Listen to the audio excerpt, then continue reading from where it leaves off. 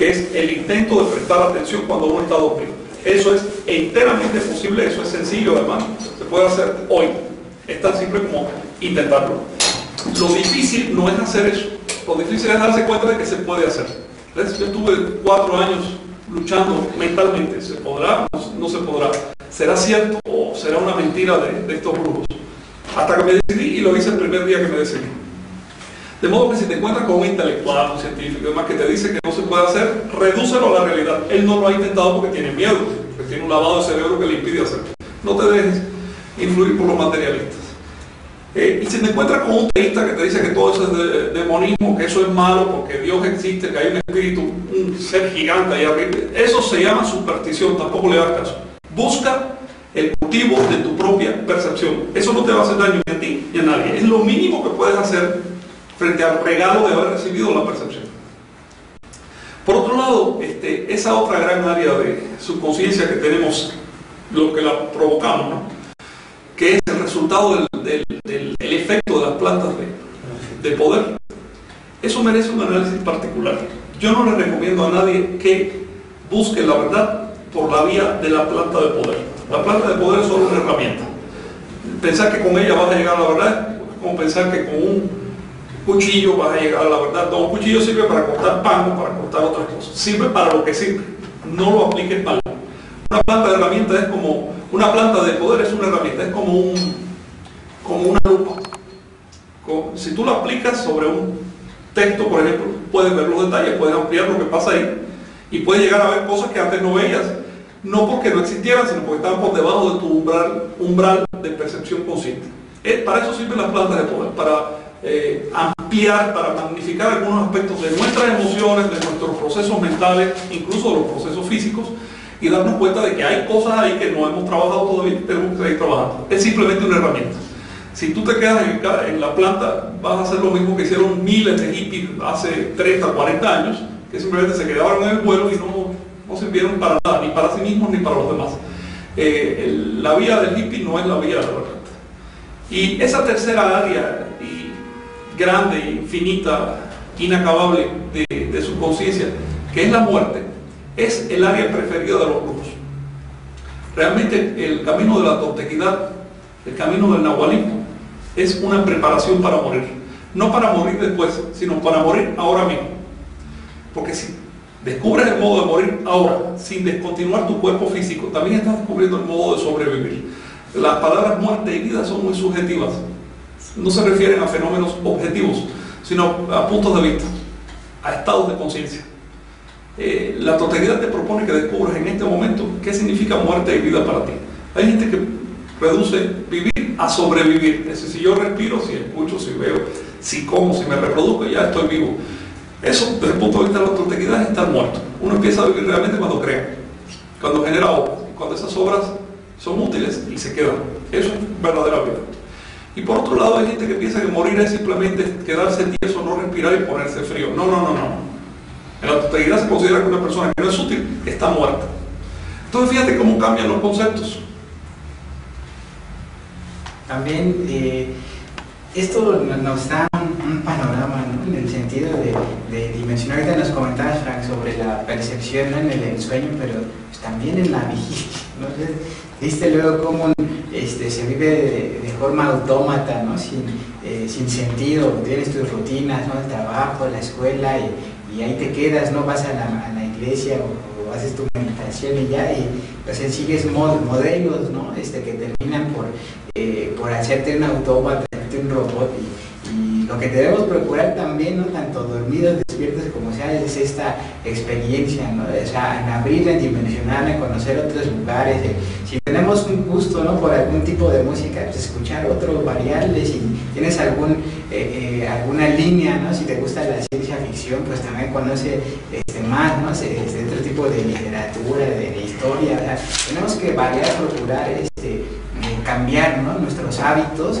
este, eliminar lo que nos quitan tiempo, lo que nos entorpecen, lo que nos hacen, eh, eh, los que nos ponen piedritas en el camino o en el zapato. Entonces, eso también nos ayuda, como en mi caso, ¿no? ya nos diste un panorama de cómo buscar las fuentes, o sea, tanto si hay gente que te quita el tiempo o te está diciendo, no, es que yo tengo, este, eh, tengo un regalo, tengo una herencia, así, pero este, si quieres conocerla tienes que esforzarte, esmerarte y estar aquí todos los días. ¿no? O sea, eh, eh, todas estas personas ¿no? que, nada más se encargan de quitarte el tiempo, ¿no? de llegar a nada concreto de todos los sentidos, pues lo mejor es este, abrir, ¿no? este, separar y continuar con, la actividad, eh, justamente también este principio de Olteca de no perder el tiempo es algo que debemos valorar. Muchas veces, eh,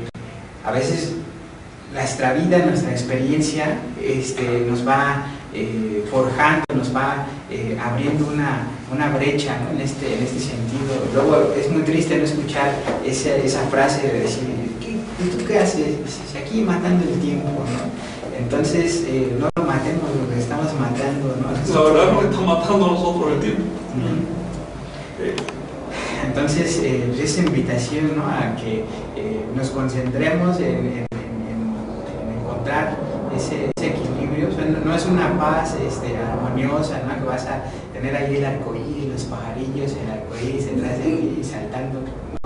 Este, esa paz implica un balance, es una lucha constante, ¿no? En que si estás, muy bien, si has encontrado este, eh, información que te ayuda y demás, este, ya te empiezas a sentir ostentoso, ahí vas mal, ¿no? De verdad te sirvió lo que aprendiste, si, si no lo modelas, si no lo aplicas, ¿no? Y por el otro lado, si estás deprimido, estás triste, no sabes qué hacer, sigues ahí, se tiene que buscar ese balance. Y no es tan fácil ¿no? encontrar ese, equilibrio.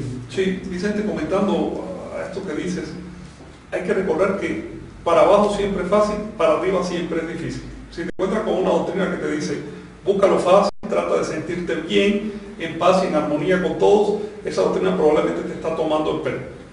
Para arriba es difícil. Si quieres evolucionar, tienes que entrarle al trabajo. Ya sé que no está de moda trabajar y no está de moda luchar, pero ni modo hay que decirlo, pues si no mentiríamos.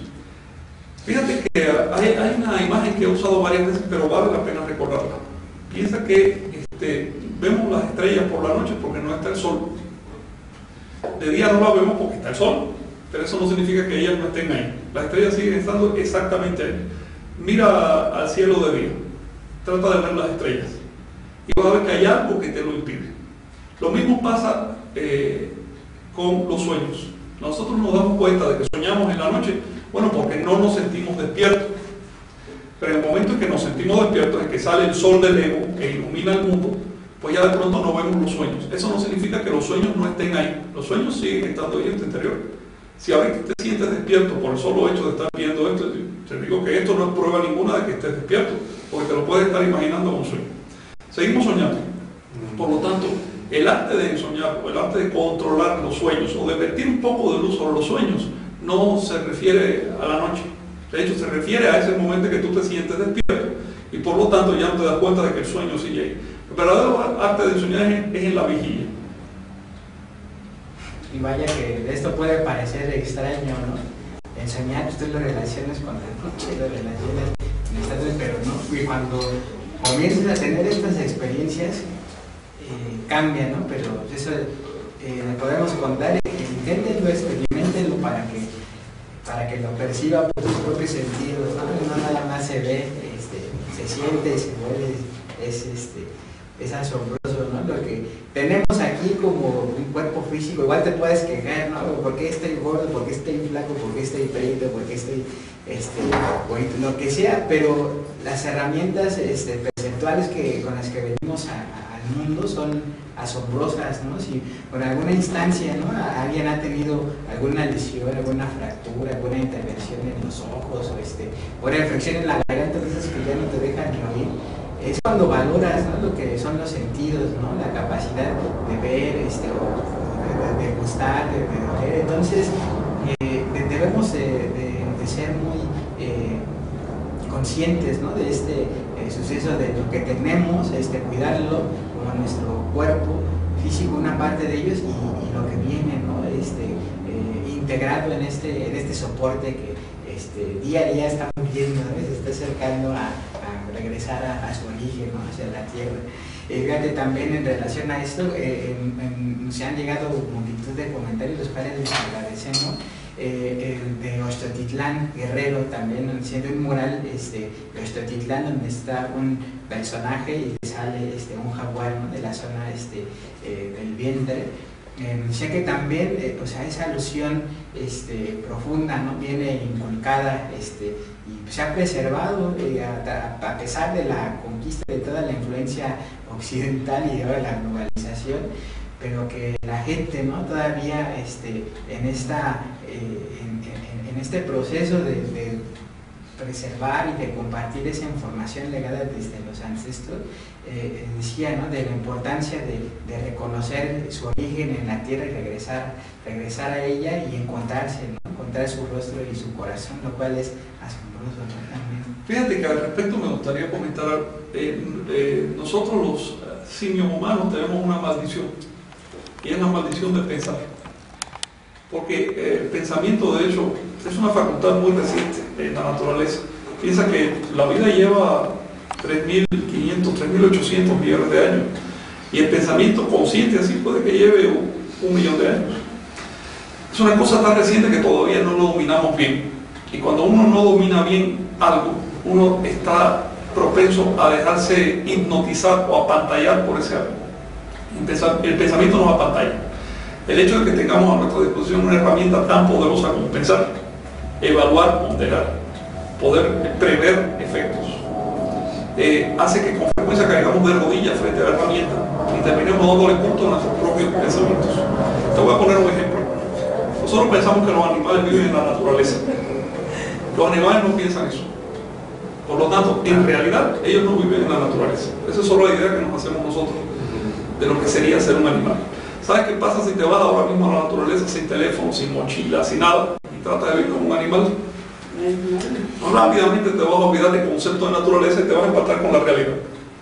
Entonces, eh, tenemos que hacer un esfuerzo, y eso es un principio torteca, para salirnos del espejismo de los pensamientos, para salirnos de lo que se llama el autorreflejo. El autorreflejo es una imagen que nos hemos hecho del mundo, una imagen que puede ser muy bonita, parece muy coherente, muy armoniosa, pero no es la realidad, es solo una imagen. Y es una imagen para llegar el momento en que choque con la realidad. Un espejo, por muy bueno que sea, finalmente no refleja el 100% de lo que recibe. Digamos que un espejo normal refleja el 70 al 75% de la luz que recibe. Luego ahí está quedando un 25 a un 30% de información que tú no estás recibiendo de tu propio autorreflejo, por poner ese ejemplo. Y en esa información puede esconderse muchas cosas. De hecho, se esconden las causas de nuestras actitudes emocionales, pasionales, de nuestros apegos, de nuestras rutinas mentales, incluyendo todas las creencias religiosas. Eh, la propuesta tolteca, como les decía al principio, es estudiar específicamente la percepción, desarrollar para a través de la percepción entonces enfocar otros aspectos de nuestro ser, como puede ser el intelecto, las emociones, la intuición, el cuerpo físico, etc. Pero enfocar la percepción. Por lo tanto, a diferencia de otras religiones de la tierra, cuyo, eh, cuyo eh, cuya fórmula de base, cuyo sacramento de base es un rito, en la posteridad la fórmula de base es ensoñar. Si tú ya ensoñaste, tú perteneces a la comunidad tolteca, porque la comunidad tolteca se basa en el esfuerzo de quienes intentan ensoñar. Uso la palabra ensoñar para, estar a tono con palabras que se usan hoy en día. En otras épocas habríamos usado otros términos. Recuerda siempre que la palabra ensoñar es equivoca, porque hace que nos refiramos al sueño de la noche, cuando la realidad es que el sueño no es propiedad de la noche, el sueño es propiedad de todo momento. En todo momento, el momento en que tú percibas estás en la naturaleza de un sueño, puedes hacerlo consciente o dejar que siga siendo subconsciente. Te pongo un ejemplo de qué significa un sueño subconsciente. Piensa en lo que hay más allá de la pared. Frente a ti probablemente hay una pared. Piensa en lo que hay más allá de esa pared. Más allá de esa pared no hay nada, excepto lo que tú puedas pensar. ¿Comprendes?